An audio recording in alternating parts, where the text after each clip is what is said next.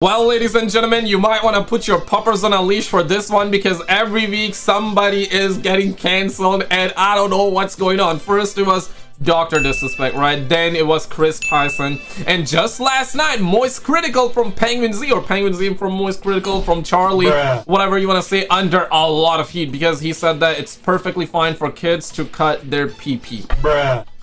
I'm not even making this up. I'll link you that video. Yeah, he's under a lot of heat. And apparently, now they are looking to cancel Mr. Beast as well because uh, uh, this what went down. Like the video if you think Sunny V2 was right dislike the video if you think he was not right because Sunny V2 if you know you know right because Sunny V2 I got a video that I also want to share with you guys there's a lot of stuff that is going down okay because Sunny V2 is one of those guys one of those YouTubers that a year ago did say that Kris Tyson is gonna be a massive problem for for Mr. Beast and objectively speaking he was right and check this out Mr. Beast and Kris Tyson Discord leaks Mr. Beast allegedly complimenting Kris Tyson's dragon size in Kris's Discord server with minors. Oh, I was looking like this, or in fact, I, I, I wish I could say psych right now, and I was looking like this, and this is my non-existent dog that uh, that wanna that loves to bite people. He says that this is why I bite people. This is why I'm saying, guys, put your puppers on a leash, man. You don't want dogs biting other people around. Okay, so roll this. Mr. One. Beast has just been exposed in a viral video, and it is getting bad. So last time we talked about the Kris Tyson situation, where Mr. Beast's childhood friend Kris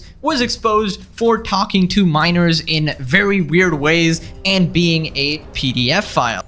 Harder, daddy, please me. Man, this happened all the way back in 2017. 2017, 2018 is dark times, brothers. Dark but it turns times. out Jimmy also has plenty of skeletons in his closet. A recent video by Dogpack404 has gone viral titled, I worked for Mr. Beast and he's a fraud, with some serious allegations Holy. made towards Mr. Beast. Some of them include faking his videos, promoting gambling to children, conducting illegal lotteries, rigging games and videos which involve millions of dollars in prize money, which is also a crime, no! not giving out the prizes that he promises, false advertising, Contestant almost no this is real or is that one of those Mr. Beast video because I was pump the brakes right because apparently Jake Franklin is somebody that worked with Mr. Beast he also said Jimmy knew about like Kris Tyson's uh, you know going after the miners and whatnot and then he says he quoted his tweet by saying that called it right and then it's like update the community note has been retracted it has been it's officially been proven that Mr. Beast's account in Kris servers was actually Jimmy Donaldson. Oh, so yeah, apparently these leaks are real and Discount Milk, no he's not, his uh, dragon isn't big enough. And, and I also gotta be very very careful for this one guys, we're just covering the news out here because YouTube recently has been suppressing videos about Mr. Beast, right? So that goes to show you uh, where they are, right? I mean, they didn't suppress the videos of Dr. Disrespect. Everybody was making, and rightfully so, right? Because of the stuff that was coming out, right? So people were making videos, uh, YouTubers were making videos, I was making videos, everybody was covering the news, understandably, but I mean, with Kris Tyson, dog, what the actual hell? You know what I mean, right? Like, no big outlets has covered the story the way they covered the Dr. Disrespect story. Dr. Disrespect got canceled everywhere, demonetized by YouTube, uh, blocked, uh, banned by Twitch, right? His uh, uh, talent agency dropped him, and you guys gotta understand that Robert Downey Jr is in the same, or I should say, Dr. Disrespect was in the same talent talent agency as Robert Downey Jr. Oh, I found that out not long ago. Of course, not pointing fingers at Robert Downey Jr. He's massive, he's great, he's amazing, right? But uh, just to kind of like bring you and to fill you in with the situation, right? Like how big this has been. So fired from there, right? His own gaming studio fired him. NBA denounced him. NFL denounced him, right? He got canceled. Everything. Everything. Right, and what happens to Kris? Well, he's stepping down from uh, Mr. Beast. Uh, yeah, and, and Slick are making thumbnails like that. Is going crazy right now. Is going in ganging. Like, look at that, man. I never thought Mr. Beast would get caught like this. Wow, is this the end of Mr. Beast? Yeah, absolutely not. But you guys gotta understand that videos are definitely getting suppressed on this topic right now, so... exploitation, and, and a whole lot of stuff, right? And the thing is, this video did not even show up in the YouTube search bar There for several days, despite having 200k views, which is seriously suspicious and very much looks like a shadow ban. So let's get into this video, break this down, starting with the allegation that Mr. Beast is faking videos. Also, if, if what we had to film was scripted, you know, because what we do is non-scripted, so you have to plan for a bunch of variables that you can't control, blah blah. If what we did was scripted, holy shit, this stuff would be easy to pump out. Have you ever faked a video? No. But this train track is CGI, these bus wheels are CGI, this explosion is fake, this shredder is CGI, this car is digitally lifted, this pit is fake, this guy is fake, uh, this raccoon is a paid actor, Sure, this island costs more than a dollar, this city is not abandoned, these buildings are CGI, that is not your only way out, you can literally get an Uber to the airport for $20. That's not a lurker, it's just a guy. This whole room is fake, this contestant is an actor, and N- what? No! No way. Now, personally, I don't care whether he fakes his video though. Yeah, I, I don't care because most of the YouTube uh, content creators uh, upload fake videos. Especially videos like that, they're scripted, and nothing wrong with that because they're trying to entertain the viewers. At least that's where I'm at. But if they're scamming the viewers, then that's different, right? And of course, if they're telling their viewers that whatever I do is 100% real, from morality standpoint, yeah, like that's bad as well. You gotta tell your viewers like it's entertainment, it's entertainment, and that's fine. But other than that, I don't care whether it's like a fake prank or a real one, or this video is real, whether he was a paid actor or not. But if you're gonna constantly say that no, everything I do is 100% genuine, uh, a- and it's not, then of course, like your viewers, uh, people gonna feel some way about it. Though I still don't care enough, though. But uh, but but I care about this situation that is going down right now. Like this is absolutely insane that that went down, right? Maybe he was memeing around, but of course he should have known better, right? But a for secret employee, $20. That's not a lurker. It's just a guy. This whole room is fake. This contestant is an actor and a secret employee at Mr. Beast. They had him got through this fake door twice. This line is scripted. This action is scripted. in fact, pretty much all the videos with Mac are scripted. Clearly trying to stall Lamo. Looks like clock. The comments were bots. No. You did it! Yeah! what we did was scripted. Holy shit, this stuff would be easy to pump out. Okay, so that was a really quick montage of stuff that Mr. Beast is fake, and I think it's pretty obvious to most adults watching that Mr. Beast is faking his videos, and he Yeah. clearly lies about it. Because every video has those incredibly high stakes all up into the end, and obviously, Mr. Beast spends millions of dollars on his videos, so he's not gonna pick somebody who like quits in two minutes, or he's not gonna make the challenge end in two minutes. He's purposely going to manipulate the events, manipulate the contestants, so that they're not gonna quit halfway, and it's gonna be neck and neck all the way up till the end for that retention. Yeah, like could you? Yeah, exactly. Right. Like I, I get that, uh, and there's nothing wrong with that. Like if you want to hire actors, uh, pay them, and uh, you want to make these videos and up the stakes and end the challenge at one second mark, perfectly fine. I think the reason why he is getting canceled, I guess, no, not even I guess. This this is actually the reason. Okay, is that he claims that the videos are 100% real when people are finding out apparently that it's not. Uh, yeah, but even from the very, very beginning, I didn't think that it was 100% real, though. You, you know what I mean? It's like one of those things. You're spending millions of dollars into production of your videos. You definitely want somebody that's not gonna quit halfway, or th- that's gonna be good on camera. You know, you know what I mean, right? Like that's gonna bring the energy on camera, cause nobody wanna sit there watch a video with, "Hello guys, today I won one million dollars. Thank you, Mr. Beast. All right, okay, bye. You know, nobody wanna watch a video like that, right? Like, imagine the contestant is like, "Thank you, Mr. Beast. Thank you, thank you, thank you for the one million. Okay, I'm out." You know what I mean? Like, yeah. So Now, the most damning uh, allegation here has to be this guy called Mac, right? So Mac was made out to be this random person that is trying so hard to win these challenges, and everyone is emotionally invested in his success. Well, it turns out, in reality, he's just a Mr. Beast employee living in a mansion, and he purposely stalls out the videos to make it intense. Let's talk about Mac for a second. We will die. Do you understand that? I found public records showing that Mac moved from California to Greenville, North Carolina, where Jimmy is located, back in August 2023, two months before he appeared as a contestant. According to a former Mr. Beast employee, this is around the time when Mac started working full time on the editing team at Mr. Beast. Also, he didn't just move into any old house, he moved into a million dollar mansion. His 6,000 square foot million dollar mansion comes with a movie Hey man, can a brother get some uh, two pennies though? Like, can, what, what a brother gotta do to get two pennies, man? theater and seven seven bathrooms. What are you gonna spend the $800,000 on? I mean, my life's changed now. Yeah, I'm sure that $800,000 is really going to change your life. Max is a nice car. Tell me, where are we right now? Uh, we're in the place that uh, we drove to a few minutes ago. Mac, let's let's cut the shit here. What have you been doing for like the last year? A lot of family stuff. What kind of family stuff? Just like, uh, you know, playing catch with my dad, you know. For a year? What do you? How do you make money?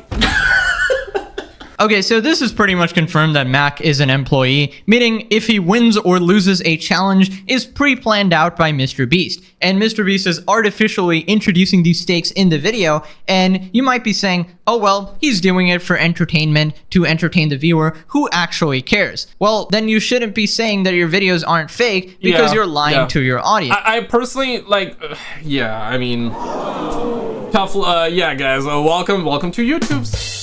Welcome to content creation. welcome to content creation. Yeah, a lot of uh, kids are gonna be like, you know, this is this was my reaction when I found out WWE was fake for the first time. I did not want to believe it, May. I used to be. A, I, mean, right now WWE is getting very, very better, uh, very, very good, and it's getting better, and I love it as well, guys. Uh, But, but I know it's entertainment. You feel what I'm saying? But back in the days when I first started watching, oh man, you know when they were dropping elbow from the top rope, switching music, Tombstone Pile Driver, The Undertaker, The Undertaker. Man, I really thought that was real, bro. You, you know what I mean? It was, it was man so a lot of kids but i have those kind of feelings about this situation. They but i find out very soon that it was fake. I mean come on jimmy. Come on man. You should have said it's entertainment. Or you know what? I feel like that when he was saying this perhaps the videos were real. Uh, uh, may, or maybe not. Maybe listen i don't know man. Somebody gotta do that detective work as well uh, right? Somebody gotta go back and find out when he said this that it was real.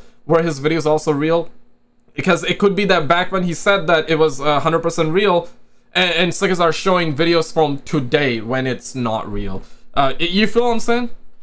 And this leads to several other ethical issues because when you introduce contestants that you aren't paying, right? And you get together sort of random people or YouTubers who are not part of your bullshit pre decided scheme, then they are actually getting tricked because they're going into these challenges thinking they can actually win a million dollars, but Yeah, they yeah, can't yeah. because you're controlling everything behind the scenes and the odds are not fair and are heavily stacked. Okay, on this one, yeah, th- this one is pathetic though. The rest of the stuff, I don't necessarily care, but it- it's one of those things, right? Like you bring in random people, or at least your subscribers in this matter, and you already have predetermined who's gonna win, essentially, right? It's not even randomized. I mean, yeah. So basically, these people are brought in. You're getting their hopes up first of all, right? They're probably dreaming about it. They're probably ready to put put their heart and soul into this one and ultimately it is already has been pre-decided that you're not gonna win. So yeah okay on this one yeah i agree in the favor bad, of yeah. one of your friends or one of your employees and shit like that. And yeah, that's obviously messed up. Now, Dogpack goes on to show Mr. Beast even fakes his own challenges, like, you know, being stranded at sea. During this time lapse on the fourth day of seven days stranded at sea, you can clearly see there's no one in the shelter. These are their empty beds. But after a hard cut, magically five people are awake, and two of the boys have bright yellow raincoats that they didn't have when it rained on day two. And after standing the whole night, completely soaked, You didn't spend the night soaked, Jimmy. You slept on the production yacht. It's ironic because this is one of the videos where they claim that they don't fake things. oh no, we have the real channel that doesn't fake things. Uh, In this video, this wink was added in post. In fact, 58 was actually on the far opposite side of the room from 42, and he just didn't hear him. This whole revenge storyline was added oh eh, pump the brakes okay pump the brakes yeah my face cam kind of yeah just wanna so this guy 58 this guy 42 and they actually had an error 58 was actually on the far opposite side of the room from 42, and he just didn't hear him. This whole revenge storyline was added in post. Multiple shots show how timers are edited in post. Timers are edited in post. Timers are edited in post. They also manipulated contestants' audio in post. We got 15 minutes. In general, if anything happens last second, it's fake. Or if you can hear someone's voice but can't uh thank you for subscribing. Appreciate it. Yeah why is always like at the of course i know it's to add more stakes and people do enjoy content a lot more. For example like because you want to know right? You want to stay, stay till the end. You want to know what happened what happened. Oh my god 10 seconds left. I want to see who's gonna win. Oh my god. And if somebody wins at the one, uh, one second mark right? Like one second away from the countdown right? If somebody wins then that hits different in comparison to if somebody went won like two minutes before. You know what I mean? So I understand why he does it. I understand why he does it, but yeah, I guess people are catching up on because he always said it's real, real, real, and uh, yeah. Can't see their mouth. The audio could easily be added in post. I literally think I'm gonna kill. Okay, so this is pretty good evidence that he's found, and honestly, I'm okay with the CGI and stuff. I understand you need that for visuals, but making people say things that they didn't say, that is just completely fake. And you know, editing timers and stuff, I mean, you can do that or whatever if it's a TV show and stuff, but don't say it's real then. And faking your own challenges is obviously just pathetic because, you know, when Mr. Beast would uh, supposedly spend 24 hours or 72 hours buried underground or whatever, I had a little hope in my heart that, okay. Y you know, that's crazy, right? Because uh, personally, I don't care whether he fakes it or not, uh, right? The, the, and I don't care whether he calls it entertainment or real. I don't, I really don't care about it. I don't care about it. But I guess it's uh, really, really uh, getting to the point where now people are like, okay, people have seen this crap, right?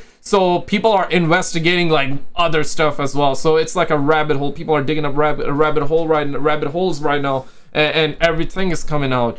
Uh, yeah, th this is a thing that I personally care about. Like, I want to know if he was joking around or not. I mean, even if he was joking around, not okay. But, but yeah, right. Like, at least those are real, right? And Mr. Beast was so insistent that they were all real. But I remember in the back of my head, I was like, oh, Mr. Beast is such a busy person, such a CEO, hyper optimizing everything. And he's going to spend three days buried underground or some stupid Seven shit. Days, so seven days. obviously I was right there and these challenges aren't real. He's probably just, you know, filming that part, instantly getting out, chilling outside or whatever. But I'm surprised that everybody has gone on, on with it. Like all these friends and all these employees, not one person had a peep out of them. Maybe. Yeah, probably NDA. They probably sign NDA. Absolutely. He's making them sign NDAs or whatever. There but we go. I'm surprised it actually took this long. And I knew he'd be exposed by somebody close to him, like a former employee. But um, yeah, man, this is the downfall of Mr. Beast starting right now. I mean, it's not like he's ever rigged the results of a challenge. That would be impossible because he films with hundreds of random subscribers, right? Wrong. Let's look at this video. Not only were the results of this video completely scripted, but the contestants are not random subscribers. So many people had jobs. Oh, that contestant had to get out for her job? I guess you forgot she's your hiring manager. I actually recognize a lot of people in this video, including Jimmy's own girlfriend. So yeah, the random subscribers you see in challenges are actually never random. They're almost always local to Mr. Beast and oftentimes friends and family of Mr. Beast employees or just the employees themselves. And when they do pull someone from outside of North Carolina, it's usually somebody who's in the industry, who's camera trained, who has built a following. Mr. Beast on his way to donate 500k to his rich and famous friends.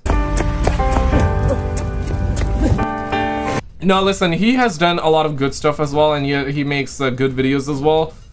Uh, but it's one of those things, right? Once uh, people catches uh, one of your thing that's been, I, I guess, like, this is a prime example, right? So people are figuring out that the videos are not real, and you see how more Pegasus, and he's not wrong though, but you have seen him talk about I spent seven days buried uh, alive or buried underground, right, or something like that. So people are naturally asking questions. So hey, was that fake? What if that was real? Okay, I, I don't believe it, but just to make uh, make a point, right? Just to just to argue uh, for the sake of it. Like, what if it if that was real?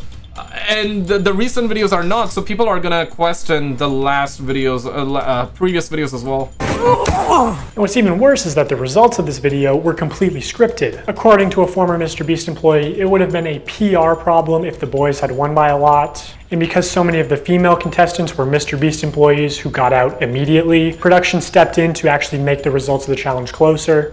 Holy crap! What the actual hell? No! So you're saying that, like, okay, let me...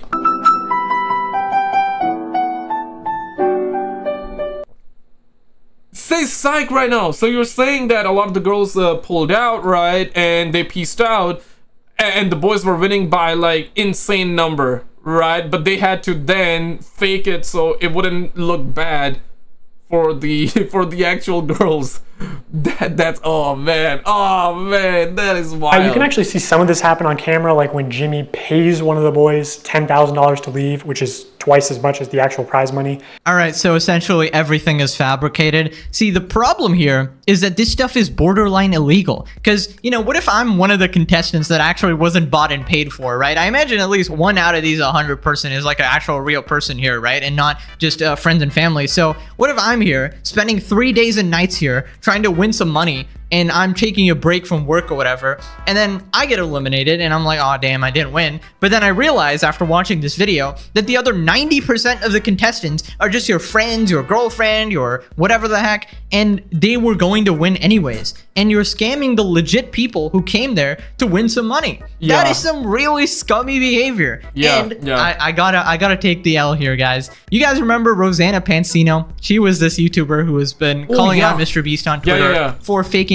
his hide and seek challenge. And yeah, she yeah. essentially said that Yeah. she was supposed to place maybe like second place in the hide and seek or something like that. And you know, everyone was like, "Oh, you're being petty. Who cares? Who actually cares, right?" And I even criticized her before, but uh, after looking into it a little bit more, she was right. If she thought she could actually, you know, win some money there, or thought it was legit, and Mr. Beast was rigging the results or whatever, somebody actually broke the rules of the challenge and stuff. And uh, they weren't called out, but she was actually uh, eliminated. And I've defended him a lot of times against people who would criticize his Yeah, I remember when that drama was going on over on Twitter. Even I thought that was petty, though. I didn't make a video on it, but but I, I was like, ah, come on, man. Like, who cares, right? Who cares? But mm, I think she had a point, though. I think she was right. See, now we're in this category that uh, now we're in this territory, I should say. Kris Tyson got caught. So Seconds are going back and digging up his past right now. And, and this video gets made as well, which is not necessarily about Kris Tyson, but it's more like, hey, Mr. Beast fake videos. So you see like all of the sudden everything is coming from both sides right now. Yeah, personally, like I don't care whether he fakes his videos, but this is uh, one of the it's one of those things, right? Like you're you're getting your subscribers, uh, random subscribers, random people uh, showing up on your show. You're giving them this false hope, this false narrative, this false promise that they can win, but at the end they don't.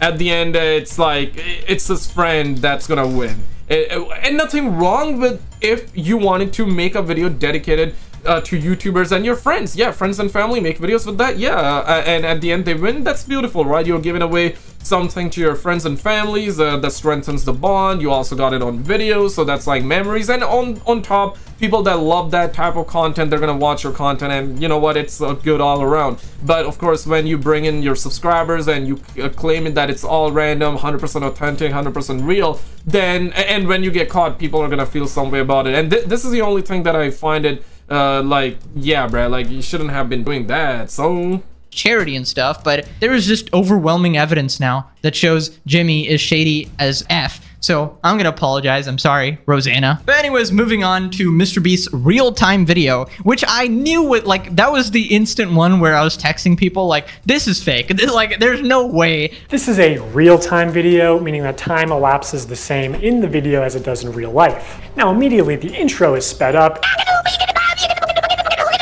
and the timer is clearly added in post, and he clearly touches the laser here, but whatever, let's assume that it's all real time.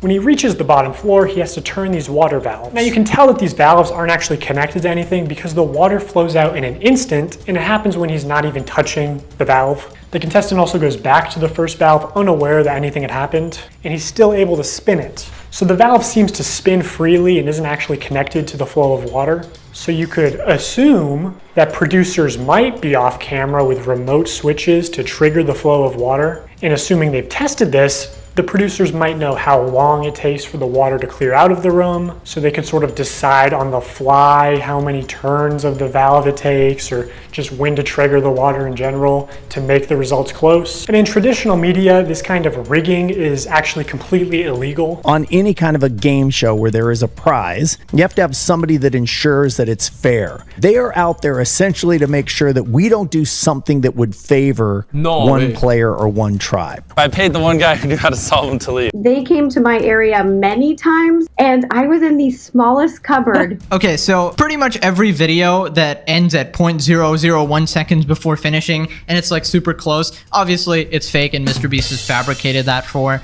you making the video more interesting. It- because in reality, it would probably end like five minutes before and randomly, Yeah. and that Yeah. would just be lame with no tension. Pretty sure this is this is not following the law. So Mr. Beast needs Saul Goodman ASAP because if any of these people try decide to That okay, so that is crazy. So from a morality morality standpoint, of course, it's bad. We talked about it, but now it's getting in the uh, in the territory of it's illegal as well.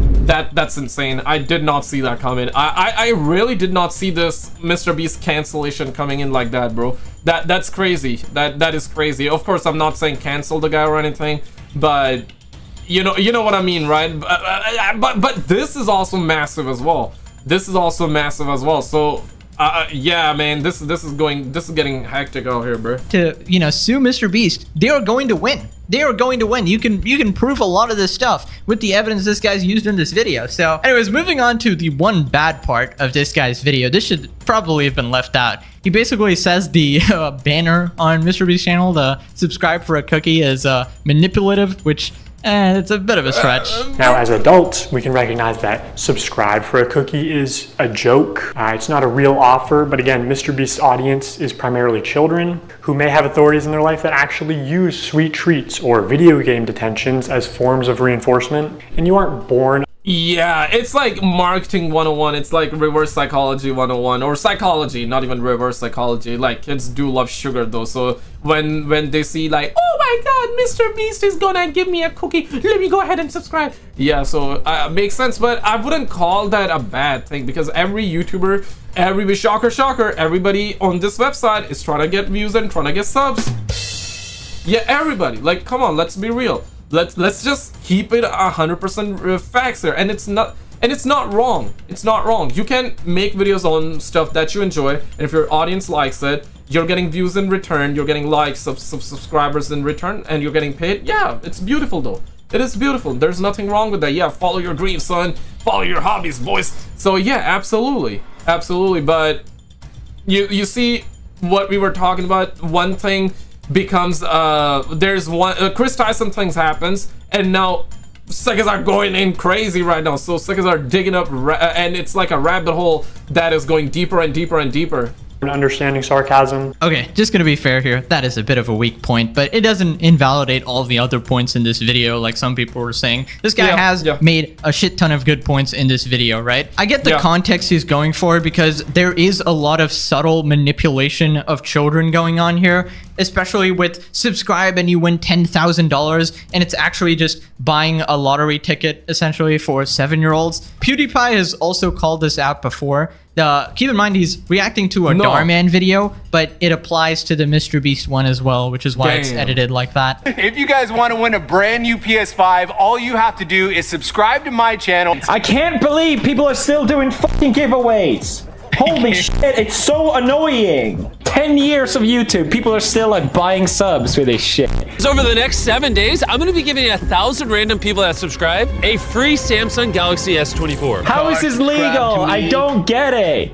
All gonna you check have to and do see if you're is subscribe to the channel. All you have to do to enter to win one of these phones is subscribe. It's a scam. Holy shit. Okay, so PewDiePie is completely right there in saying that it's mostly a scam. The problem with these sort of giveaways is that it's extremely shady and it's never sort of confirmed that who's actually getting all the stuff and it's never properly announced. First off, uh, does he announce on twitter or like publicly if he doesn't announce then of course that's bad but if he announces then it's perfectly fine Mr. Beast is never losing money, all right? He's like making an insane profit every single time when he does one of these, like buy my merch for a chance to win X amount of money. Like the merch sales will always make more money. It's kind of like gambling at the casino. The house never loses, right? Yeah, yeah, it is yeah. always rigged so that Yeah. you will be the one who's losing money. For, for those of you who are just joining, if you buy one of our limited edition uh, 40 mil special shirts, we're celebrating 40 million subscribers with a really big video, then we will sign that shirt,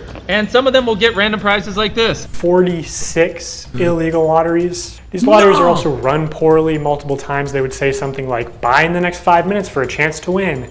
And then seven minutes later go, actually, the newest order in 30 seconds is going to win. In five minutes, we're gonna do the same thing again. We're gonna put a thousand dollars in a random order. Hey, Daryl, don't we owe bro. someone two thousand thousand dollars? We do.